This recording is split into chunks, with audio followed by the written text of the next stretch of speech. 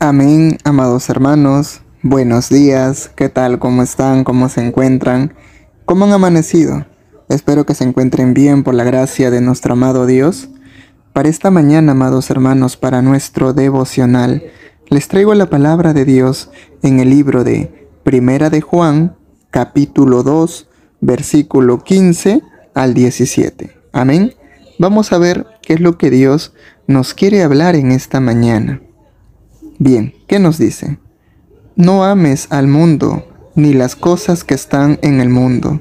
Si alguno ama al mundo, el amor del Padre no está en él. Porque todo lo que hay en el mundo, los deseos de la carne, los deseos de los ojos y la vanagloria de la vida, no proviene del Padre, sino del mundo. Y el mundo pasa y sus deseos, pero el que hace la voluntad de Dios permanece para siempre. Gloria a Dios. Vamos a orar para que sea Dios tomando control absolutamente de todo y que sea Él hablando a cada uno de nosotros. Gracias, amado Dios Señor, por esta maravillosa palabra tuya. Te pedimos, Señor, que esta palabra no solamente nos aliente, no solamente nos anime, no solamente nos llene de fe y nos fortalezca, sino también, Señor, que nos abra los ojos, que nos haga dar cuenta cómo estamos llevando nuestra vida delante tuya, que tu palabra nos corrija, nos exhorte si es necesario, Señor.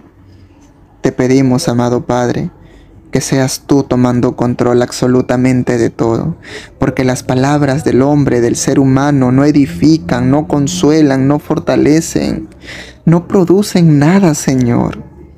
En cambio, si eres tú hablando, en cambio, si es tu Espíritu Santo quien nos enseña, quien nos habla, quien nos convence de pecado, justicia y juicio, todo es distinto, Señor tu palabra comienza a tener sentido, tu palabra recién ahí nos fortalece, tu palabra ahí recién nos consuela y nos alienta a seguir adelante.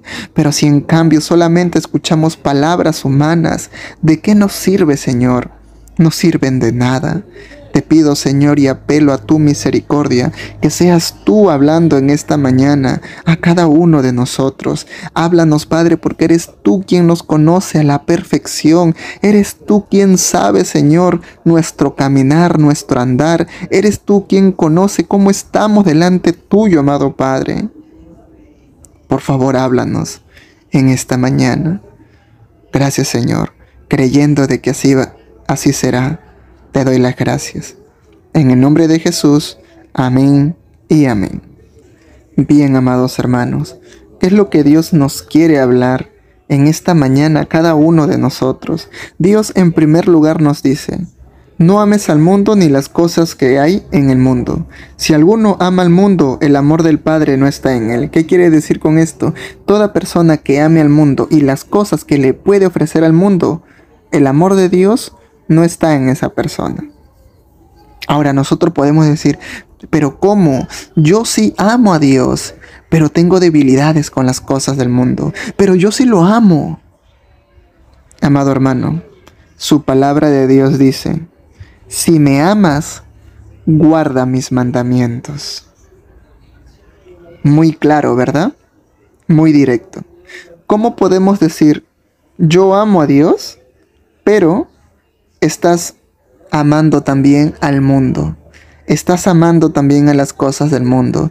La palabra de Dios dice que nosotros no podemos servir a dos señores, o amaremos a uno y menospreciaremos al otro. Eso dice su palabra. Tú no puedes, amado hermano, dividir tu corazón en dos, una parte para Dios y otra parte para el mundo y las cosas del mundo. No puede ser de esa manera. Su palabra de Dios dice que Dios es celoso de alguna u otra manera, nos quiere solamente para Él. Dios quiere que nosotros solamente solamente le alabemos, le sirvamos y que glorifiquemos su santo nombre de Él, que compartamos su palabra y que hablemos de su gran amor. Eso quiere Dios con nosotros. Ahora ustedes seguramente en algún momento tal vez habrán pensado, pero qué egoísta que es Dios. ¿Por qué solamente quiere que a Él lo ame? Yo también tengo que hacer las cosas que, digamos, a mí me divierten o me gustan. No, amado hermano. Dios no es egoísta. Dios no te obliga.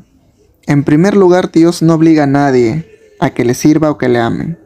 Cada uno tiene libre albedrío y decide qué cosa hacer con su vida.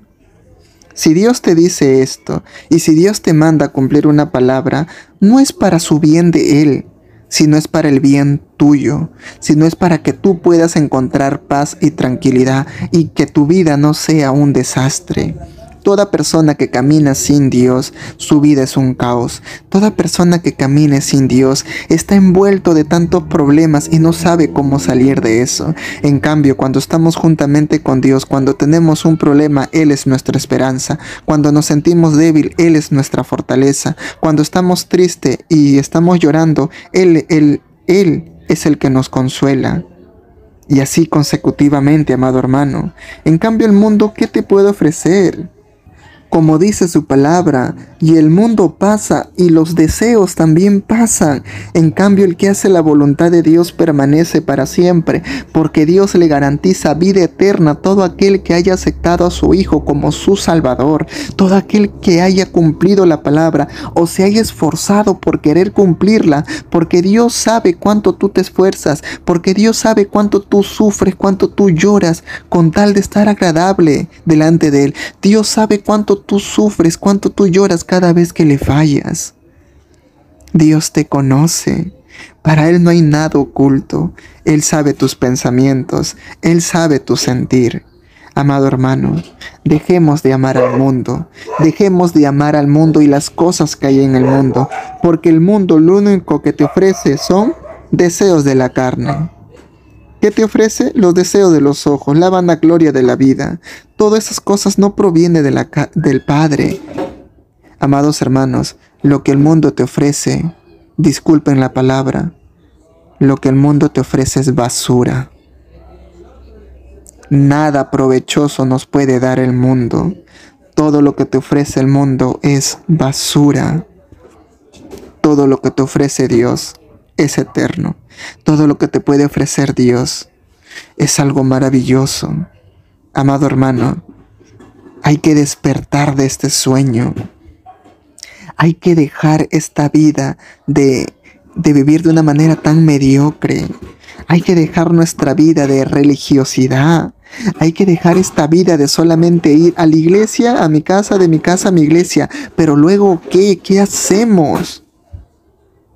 Ponemos por obra la palabra de Dios, predicamos su evangelio, o al menos nos esforzamos por estar bien delante de Dios, o nos seguimos prestando para las cosas del mundo, aún seguimos teniendo, teniendo amistades del mundo y nos, y nos prestamos para sus bromas, nos prestamos para sus reuniones, nos prestamos para muchas cosas, aún incluso negamos nuestra fe delante de ellos. Muchas veces nos avergonzamos de decir yo creo en Dios y yo ya no voy a participar en esas cosas. Tal vez antes lo hacía así, pero ahora soy una nueva criatura porque Cristo me hizo libre de la esclavitud. Lo siento, pero yo ya no voy a participar en eso. ¿Acaso decimos eso cada vez que nuestras ex amistades o, o las amistades que aún conservas te invitan para una reunión y tú sabes que dentro de esa reunión va a haber música que no va a ser agradable para nosotros. Va a haber personas con costumbres y con manera de hablar que sabemos que no es bueno para nosotros. Sabemos que va a haber alcohol, etc. ¿Para qué ir a un lugar donde no nos vamos a sentir bien? Nosotros tenemos que ir a un lugar, si es que hacen alguna reunión donde donde podamos escuchar palabra de Dios, donde podamos alabar el santo nombre de Dios o donde o donde podamos estar en unión con nuestros hermanos en Cristo, o donde podamos visitar a alguien para poder compartir la palabra de Dios. Amados hermanos, no hay excusa, no hay pretexto, podemos hacerlo, claro que sí. Dejemos a un lado los complejos y los miedos. Dejemos a un lado los temores por el que dirán, se burlarán de mí. No, amado hermano. Es preferible agradar a Dios que agradar al hombre, que agradar a tus amistades, que agradar a tu familia. Es mejor agradar a Dios. al Rey de Reyes y Señor de Señores. Amado hermano, todas estas cosas, los deseos de la carne, los deseos de los ojos, la vanagloria de la, de la vida, la murmuración, el chisme, la crítica, todas las cosas que te puede ofrecer el mundo, los placeres, el sexo, las bebidas alcohólicas, la droga, etc. Todo lo que te puede ofrecer el mundo. Todas esas cosas pasan. Los deseos del mundo que te ofrece la carne pasan. Todo lo que te ofrece el mundo pasa pero el que hace la voluntad de Dios permanece para siempre. Amados hermanos, yo sé que muchos de ustedes tal vez dirán o pensarán, claro, es fácil decirlo, hacerlo es lo complicado. Sé que muchos de nosotros, aún incluso, estamos sirviendo a Dios. Vamos a, a la iglesia a adorar, leemos la palabra, pero aún seguimos esclavos del pecado, de la pornografía, de las perversiones, de los pensamientos no adecuados, de los sentimientos no adecuados, de la murmuración, del chisme, de la crítica, de la vanidad, de la idolatría, y entre tantas cosas más que se puede dar de ejemplo, aún seguimos esclavos de esas cosas. Amado hermano, Jesús nos hizo libre en la cruz del Calvario. Declárate libre, declárate de que eres libre por la gracia de Dios, que eres libre gracias a Jesucristo que derramó su sangre en la cruz del Calvario. Eres libre en el nombre poderoso de Jesús. Declárate libre, amado hermano. Deja de vivir en esa esclavitud que constantemente te incita a pecar y pecas y fallas a Dios.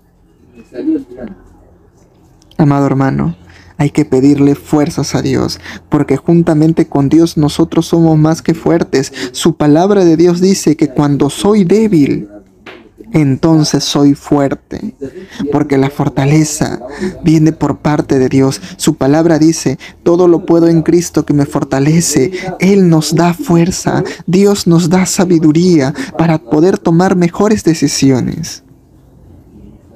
Sigamos adelante, amado hermano. No te des por vencido. No te des por perdido.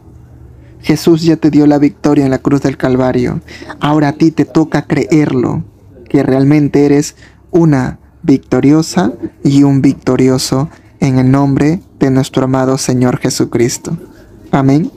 Vamos a orar. Gracias, amado Dios Señor, por tu bendita palabra. En esta mañana, Señor, tú nos has querido hablar de esta manera diciéndonos, Señor, de que toda persona que aún ama al mundo y las cosas que están en el mundo, el amor tuyo no está en esa persona. Suena duro, es fuerte, pero tu palabra sí lo dice y entonces nosotros lo creemos. Solamente, Padre, te pedimos, apelando a tu misericordia, que nos ayudes. Ayúdanos, Padre, porque realmente nosotros, con nuestra propia sabiduría, con nuestra propia fuerza, no vamos a poder. Por más que pongamos todo nuestro empeño, no vamos a poder salir del pecado. Tu palabra dice que en vano es el que edifica la casa.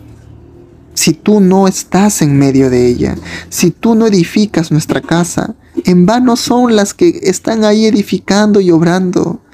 En pocas palabras, si tú no edificas nuestra vida, en vano será que nosotros nos esforcemos y luchemos por querer cambiar. Amado Dios, ayúdanos, Padre. En ti está nuestra esperanza, en ti está nuestra salvación. Por favor, ayuda a cada uno de mis hermanos en Cristo, todos mis hermanos que me están viendo, que están escuchando tu palabra, Señor. Por favor, ayúdalos. Yo no sé en qué situación se puedan encontrar en ellos, pero yo sé, Señor, que tú sí lo sabes. Tú sí sabes cómo ellos piensan, cómo ellos sienten. Por favor, ayúdalos. Ayúdalos, Padre. Ten misericordia de cada uno de nosotros. Gracias, Señor. Bendito sea tu nombre. Alabado sea tu nombre, Señor. Toda la gloria y honra siempre será para ti, Padre. Gracias, Señor. En el nombre de Jesús, amén y amén. Dios te bendiga, amado hermano, que tengas un excelente día y recuerda que la paz de Dios vaya con nosotros. Bendiciones. Amén.